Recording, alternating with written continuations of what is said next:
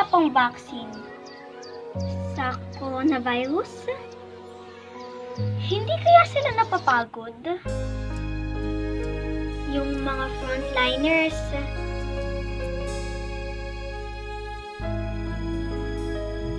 May nakakain pa kaya sila? Yung mga kababayan natin?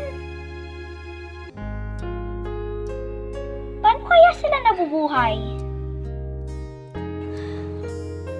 Di humihinga. Inhale. Exhale. Inhale. Exhale. Tsaka nila inumin ng pinakamasarap na. Inubos mo na yung Sesto Choco? Hindi lahat ng bata nasa isang sulok at nagsa-cellphone. Yung iba nasa bubong at nag-aalala sa sitwasyon. Buti na lang dalawa tong binili ko. Nag-worry lang naman kasi ako. Chill